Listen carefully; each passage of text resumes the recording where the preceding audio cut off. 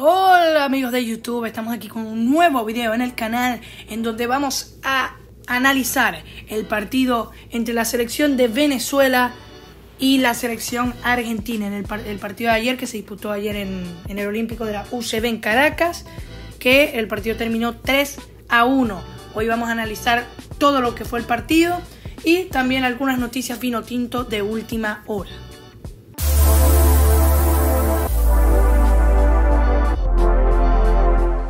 Bueno, después de la intro, comenzamos con lo primero, las alineaciones. ¿Cómo salió cada equipo a la cancha?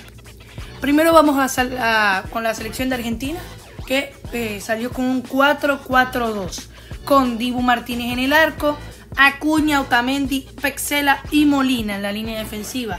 Los Chelso por la izquierda, Di María por la derecha y los dos de medio campo, y los dos mediocampos Guido Rodríguez y Rodrigo de Paul. Y como dos puntas Lautaro Martínez y Messi. Ya vamos a analizar cada alineación y lo que hizo más o menos cada jugador. Y después la alineación de Venezuela fue igual, una 4-4-2 con Fariñez en el arco, Alexander González como lateral derecho, Oscar González como lateral izquierdo, Ferrares y Velázquez los defensas, Sabarino, Rincón, El Brujo Martínez y Soteldo, y en la delantera Eric Ramírez y Joseph Martínez.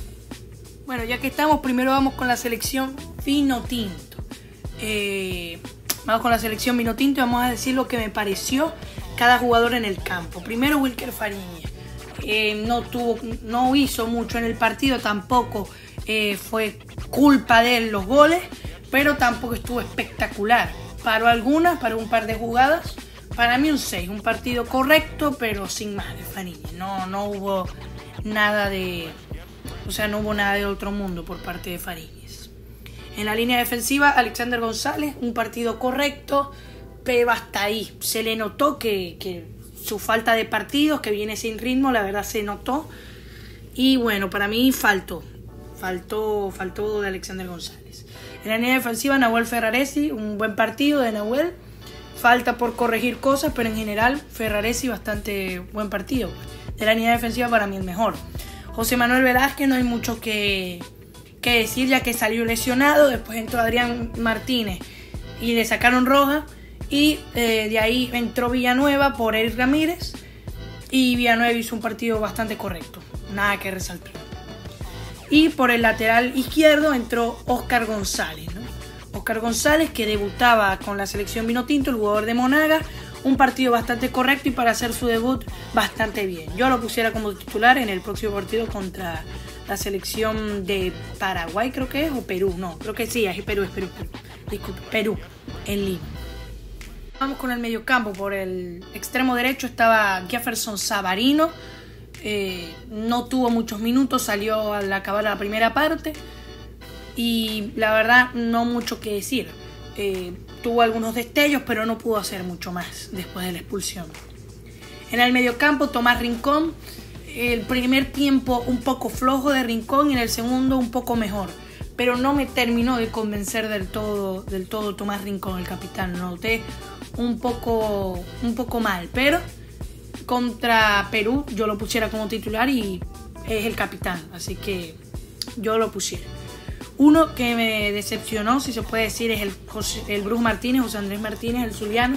No tuvo uno de sus mejores partidos contra Argentina, hubo varios errores. Mm, para mí no debe ser titular contra Perú, para mí tiene que entrar Junior Moreno pero tampoco hay que crucificarlo, ni mucho menos. El Brujo sigue teniendo su puesto en la selección, aunque no fue su mejor partido, eso hay que decirlo. Después vamos con Jefferson Sotelo, el último de, esta línea de medio campo, que para mí sin duda alguna fue el que más destacó, el mejor de la selección Vinotinto en todo el partido.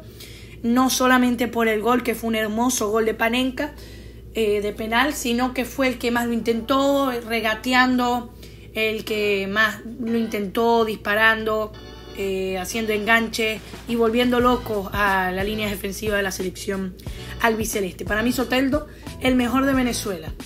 Y en la delantera, Eric Ramírez y Joseph Martínez. Eric Ramírez no tuvo casi minutos, salió por la expulsión de Adrián Martínez, salió por Villanueva.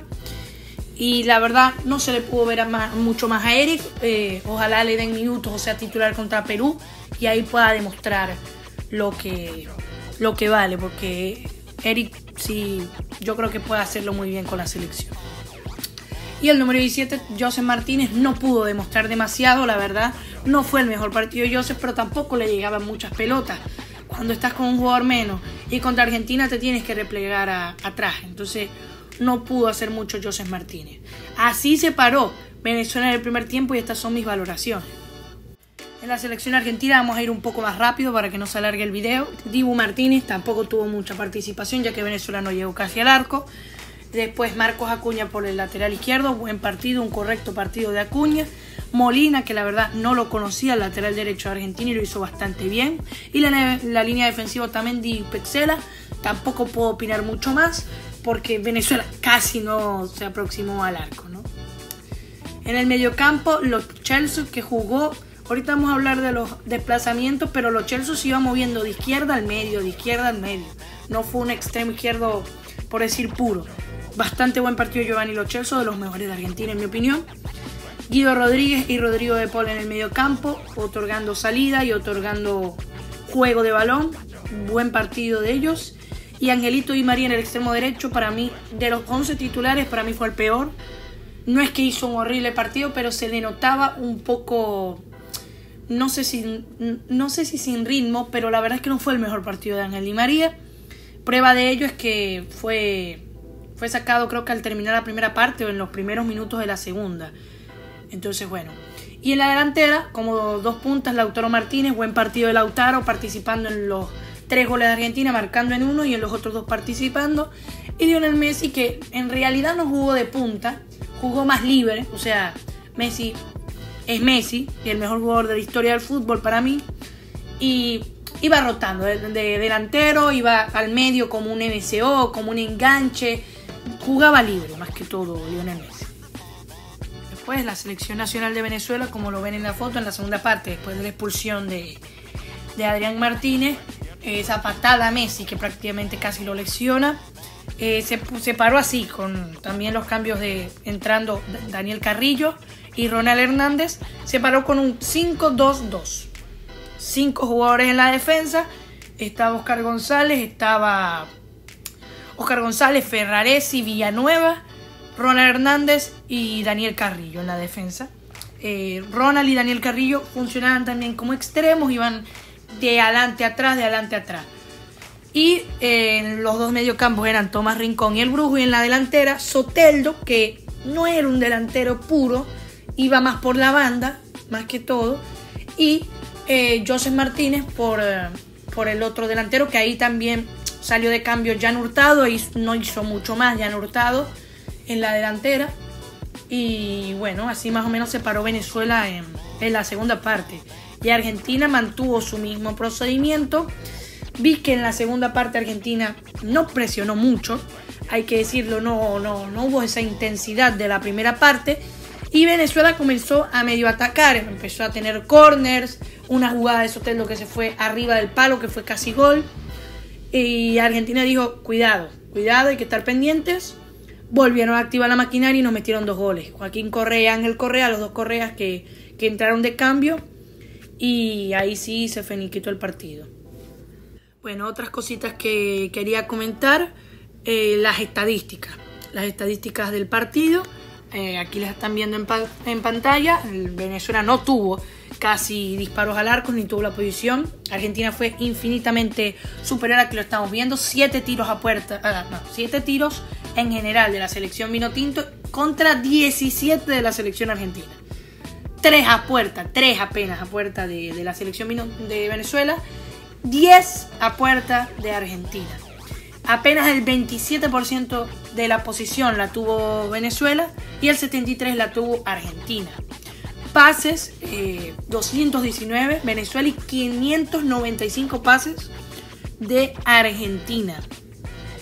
11 faltas de la selección venezolana y 7 faltas de Argentina. Le sacaron dos tarjetas amarillas a, a la selección Vino Tinto y una roja también a la selección Vino Tinto que fue Adrián Martínez, que salió expulsado. Offside, 2 de Venezuela, 1 de Argentina y corners 4 de Venezuela, que en esos 4 tiros de esquina tampoco pudimos hacer mucho. Y 5 eh, tiros de esquina de Argentina. Por último, ya para terminar el análisis, terminando ya el análisis, aquí vamos con los goles y vamos a analizar los goles de la selección de Argentina. El de Venezuela tampoco se puede analizar mucho, bueno, fue un gol de Panenka de, de Jefferson Soteldo, un muy buen gol después de que él va a revisar la jugada, pero no mucho más, ese fue el gol de Soteldo. Como vemos en la jugada, Aquí la selección Minotinto parecía, se habían dormido la selección Minotinto aquí en el primer gol, ya que le hacen una falta al jugador argentino. El árbitro deja la, la ley de la mitad, la selección venezolana en la defensa se duerme y totalmente habilitado por Alexander González, Lautaro Martínez eh, se habilita y mete el gol. Fariñez no tiene mucho que hacer en ese gol. Un despiste en la defensa eh, terminan pidiendo el fuera de juego, pero claramente está totalmente habilitado Lautaro Martínez, delantero del Inter de Milán. El segundo gol de Argentina, no hay mucha culpa de la defensa. Fue una jugada espectacular entre Messi, Joaquín Correa y Lautaro Martínez. Un golazo de Joaquín Correa, una definición que era imposible de atajar para Wilker Fariñez.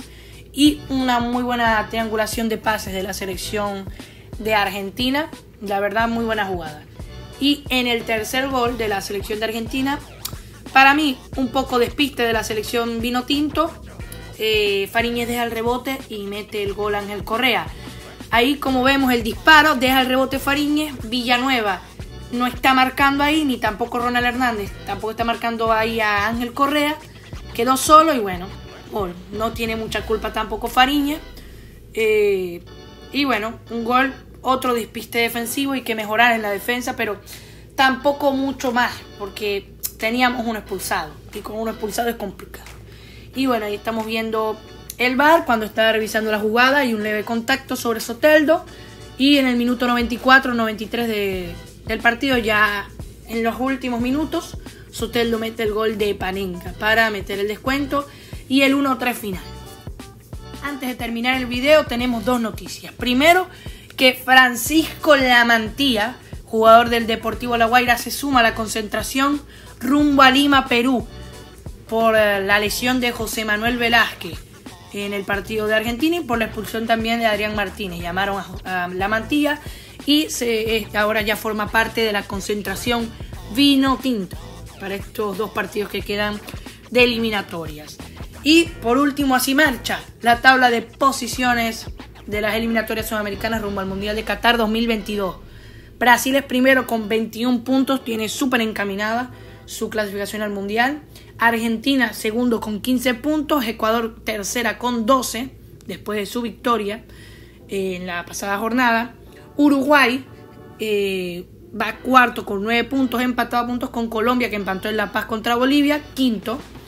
Eh, de sexto va Paraguay con 7 puntos, ahí cerquita de Colombia, Paraguay y Ecuador. Chile un poco más alejada, de séptimo lugar, con 6 puntos, al igual que Bolivia, que va octavo.